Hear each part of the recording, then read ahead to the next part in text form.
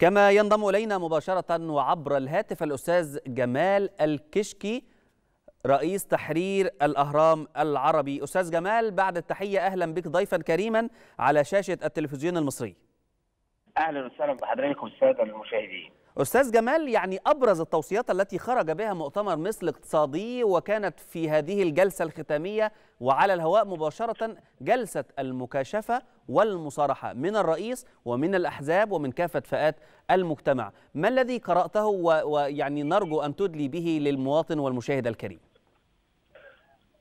آه في الحقيقة هناك يعني آه آه يعني رسائل مبشرة وقوية جدا جاءت من خلال هذا المؤتمر الاقتصادي الذي خرج بتوصيات تصب في مصلحة المواطن ومصلحة الدولة المصرية. وهنا نتوقف أمام يعني عدة ملاحظات. لاحظنا خلال الثلاث أيام نحن أمام 19 جلسة عقدت أمام 30 ساعة عمل أمام 240 متحدث أمام 1200 من المشاركين. وبالتالي هنا أيضا الملحوظه الثانية إن الحضور شمل يعني شخصيات من مختلف الألوان السياسية والأطياف السياسية من 80 حزب 60 شخصية من الحوار الوطني مختلف يعني شخصيات متنوعة من مختلف الألوان والأطياف السياسية. الأمر الذي يؤكد سلامة وصحة الرؤية المصرية في هذا التوقيت قبل أو استعدادا للدخول إلى الجمهورية الجديدة وأيضا هنا نتوقف أمام فتح الباب أمام الجميع للمشاركة في صناعة صناعة وصياغة القرار المتعلق ب بالدولة سواء في الملفات الاقتصادية وغيرها. تزامن المؤتمر الاقتصادي مع الحوار مع مسار آخر هو مسار الحوار الوطني وبالتالي هنا في رؤية متكاملة ما بين الحوار الوطني وما بين المؤتمر الاقتصادي. كل يكمل. الآخر المحور الاقتصادي في الحوار الوطني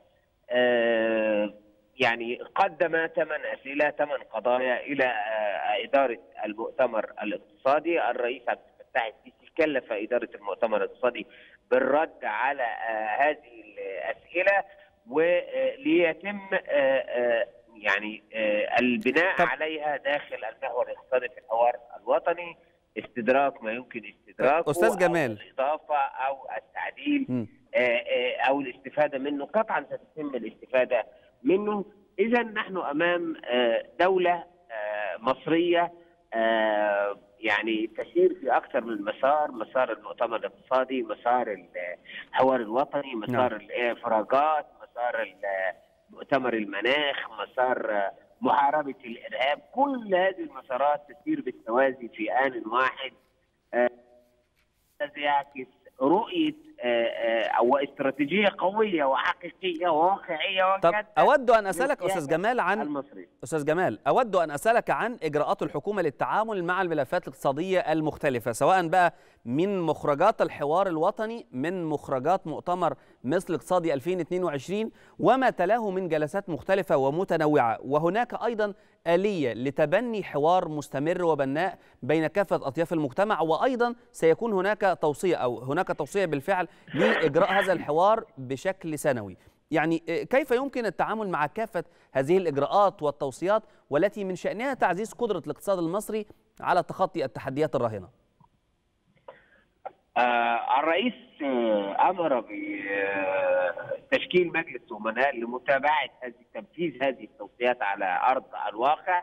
أمر أيضا الرئيس عبد الفتاح السيسي أو كلف الحكومة ب آه بعقد مؤتمر دوري سواء سنوي أو بصفه دورية لتبادل الرؤى واستمرار تبادل الرؤى والوقوف والتأكد من كشف حساب ما تم إنجازه في المؤتمرات السابقة نعم. وبالتالي هنا توجد آلية لضمان تنفيذ مخرجات هذا المؤتمر وغيره والتأكد من تنفيذها على أرض الواقع وأن هناك مجلس أمناء من مختلف التخصصات والخبراء سيشارك في الرقابة والمتابعة على تنفيذ توصيات هذا المؤتمر.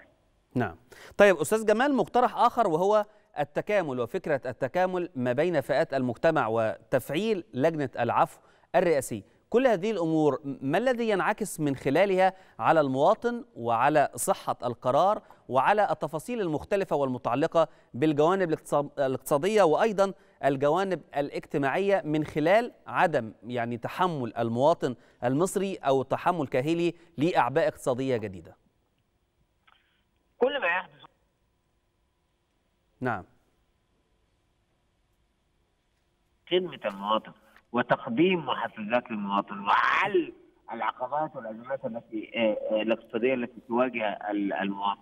وكلها تسير بالتوازي أيضا يعني لتقصير الفترة والمدة الزمنية في الوصول إلى علاجات وحلول ودواء يصب في مصلحة المواطن. وبالتالي هنا سواء العفو أو المؤتمر الاقتصادي أو الحوار الوطني الهدف منه إحداث نوع من الطمأنينة.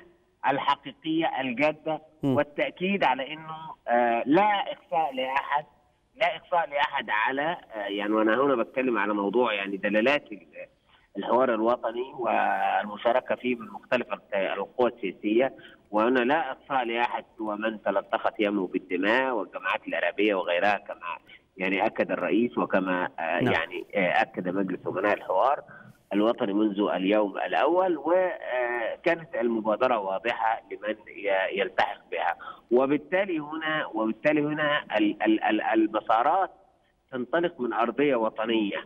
الذين يرغبون في بناء الدولة فليتفضلون للمشاركة والذين لا يرغبون فعليهم الذهاب بعيدا عن الروح الوطنية، الروح الوطنية هي نقطة الانطلاق.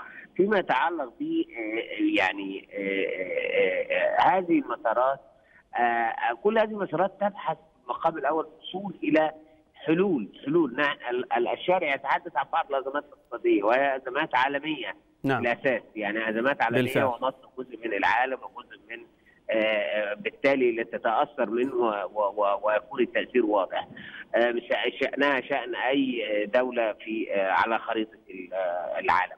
وبالتالي هنا البحث هنا الصمود هنا. وخلينا نقول إنه لو تأملنا ما حدث في مصر أو تأملنا هذا المؤتمر الاقتصادي وما شهده من يعني توقيتات وساعات عمل ومتحدثين كما ذكرت لحضرتك بالارقام وهناك إقبال وفتح شهيه القوى السياسية كلها للمشاركه في هذا المؤتمر.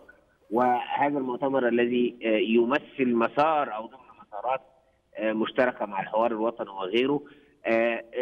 كل هذا يهدف البناء على ما تم عام 2016 من الاصلاحات الاقتصادية تمام. يعني وهذه الاصلاحات الاقتصادية وزي ما شفنا السيد الرئيس في الجلسة الافتتاحية الأولى للمؤتمر 23 أو الأمس تحدث عن هذا القرار وصعوبة هذا القرار إذا نستطيع القول أستاذ جمال أن هذه القرارات يعني تعمل دائما وأبدا لصالح المواطن وأيضا هذه القرارات بالتكامل مع الحوار الوطني والمؤتمر الاقتصادي كلها أو جميعها تعمل على صياغة رؤية حقيقية لمواجهة ومجابهة التحديات الاقتصادية على كل الأحوال شكرا جزيلا ضيفي الكريم الكاتب الصحفي الكبير أستاذ جمال الكشكي رئيس تحرير الأهرام العربي وعضو مجلس أمناء الحوار الوطني.